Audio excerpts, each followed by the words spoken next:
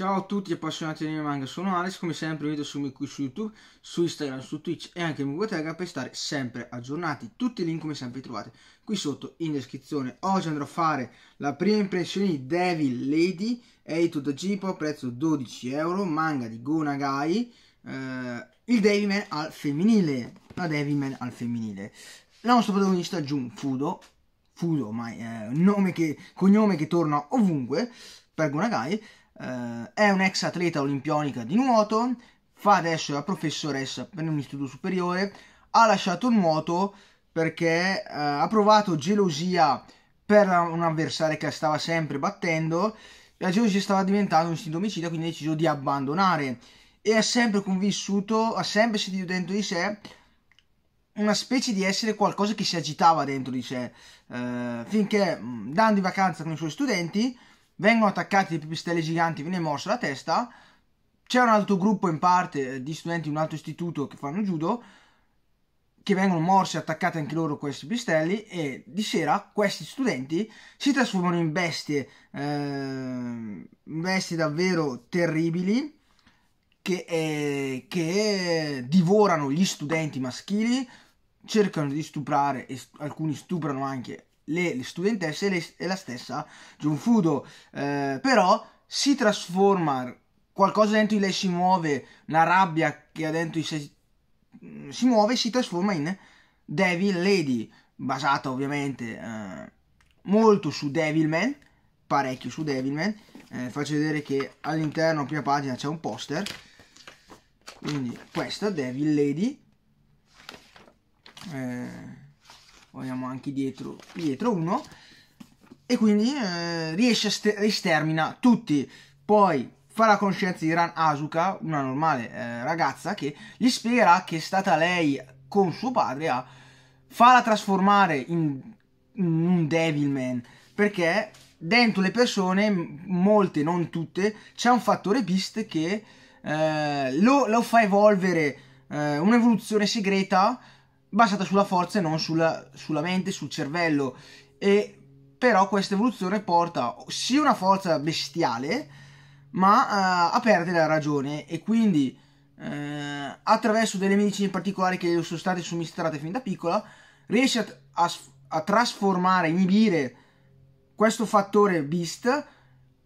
e riuscire a controllarlo per trasformarsi in un Devilman, in questo caso Devil Lady, che eh, combatterà, distruggerà tutti questi esseri oscuri e cercherà di proteggere la Terra e magari trovare qualcun altro compatibile per diventare un nuovo alleato. Lei all'inizio eh, è una ragazza semplice, anche se ha delle pulsioni che ora si spiega perché gli vengono, pulsioni sessuali, quindi eh, è un manga, com come sapete, Gonagai, molto splatter, ma anche a sfondo, non dico sfondo sessuale, però scene abbastanza eh, capibili, molto hard. E, e all'inizio proprio mh, mm, è una ragazza normale, ha quasi paura di sta cosa, comunque non vuole uccidere le persone anche se si sono trasformate perché pensa che possono essere sempre salvate in futuro. Però farà contro la tragica realtà dei fatti e dovrà fare delle scelte e a volte anche non può neanche scegliere perché dovrà scegliere tra la sua vita o, o quella del suo aguzzino o salvare qualcun altro. Quindi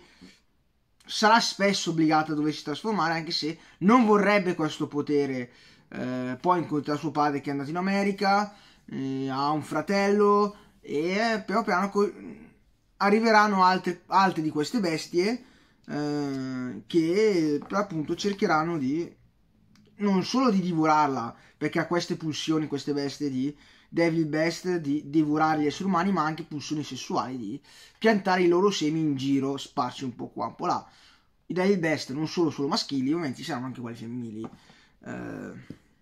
e quindi eh, è ovvio che molto riferimento a Devilman, che è un manga degli anni 70, questo è un manga fine anni 90 circa, e quindi 30 anni dopo, infatti, qua si fa riferimento a Devilman. Però Devilman visto non come qualcosa di reale, realmente successo, ma come per appunto un manga, cioè nel senso qua si parla di Devilman come il manga, come una storia di racconti e basati e quindi i nomi vengono, veng- traggono ispirazione a detta degli stessi protagonisti da quel racconto che è lo stesso autore ovviamente. Eh, quindi si fa autopubblicità da solo Gonagai anche se non avesse bisogno perché Devilman è il suo manga più famoso oltre poi per Mazinga Z eccetera eccetera però diciamo che Devilman è quello che ha dato la notorietà la visibilità quello che l'ha messo nell'Olimpo dei mangaka. Però è ovvio che ci sono parecchi riferimenti